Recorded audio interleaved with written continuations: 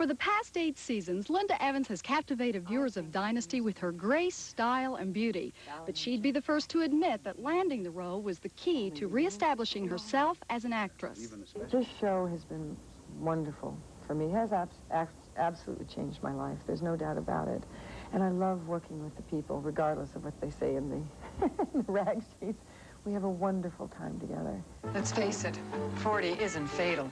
And once her acting career was back on track, other doors began to open. As a spokeswoman for Clairol, Evans has taken an active part in the company, touring the manufacturing plant and inspiring the cosmetics giant to create the Take Charge Awards, which are presented to women who've single-handedly been able to triumph over life's hardships. We choose 25 women who will be role models for other women to show that they, they're women who have after the age of 30, overcome obstacles, taken charge of their life, and uh, completely shifted around their life. And we want women to understand that it's never too late. What was the most difficult thing for you to overcome? Well, I think the fact that I was reaching 40 and that the television profession was at that time uh, basically a young woman's uh, arena. And uh, even the people who loved me the most said, look, you're a little old to be starting your career.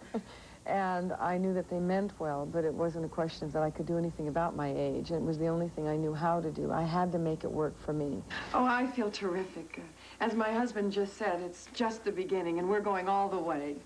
You've had all these great successes, and you've certainly accomplished your goals, but what really gets you excited now? I think just being alive. I am doing everything I want to do. And if I think of something I haven't done, I will do it. Because now I know that I'm the only one who stops myself in life. There was once a cosmetic ad whose tagline went, you're not getting older, you're getting better. At 45, Linda Evans is living proof of just how true that can be. Ann Abernathy,